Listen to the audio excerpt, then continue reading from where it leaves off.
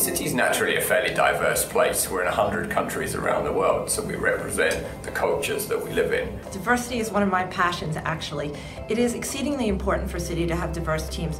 First and foremost, because different thoughts and different backgrounds actually get people to challenge each other, to think differently, and actually that difference in thought could get us to innovation or creativity, and that's something we want for this company, for this industry. For me, diversity means diversity of opinions as well as perspectives. It's truly important for Citi to have diverse teams because we handle a diverse set of problems and we work with a diverse set of clients. Decades of research suggests that intolerance hurts our well-being. Initially, no one takes seriously women in technology, but it's fun to see how people change their mind in time. No one knows you as well as you do. No one knows your accomplishments as well as you do. No one knows your ambitions as well as you do.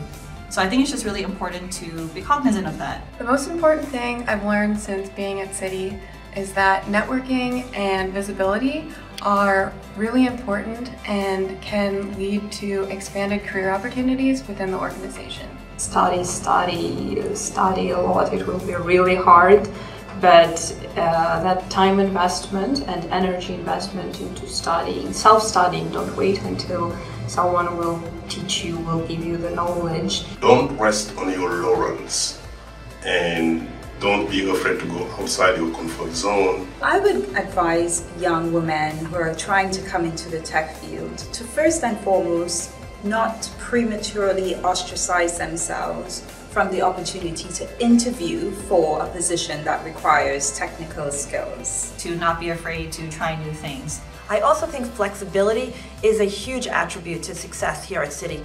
It's exciting to work in the financial industry, but things change. So being able to be flexible and adjust to those changes can actually lead to success here. Technology is an area that applies in so many places and is you know, very dynamic, continuously changing. So you have to have an open mind. Citi as a whole showed me the way progressively. And I started feeling comfortable over time. It's also really important to have diverse teams because our clients are diverse. We operate around the world in 90, 100 plus countries, and everybody there needs different things. And having diverse staff that can think about what their particular client base needs actually improves the software we deliver and how we operate.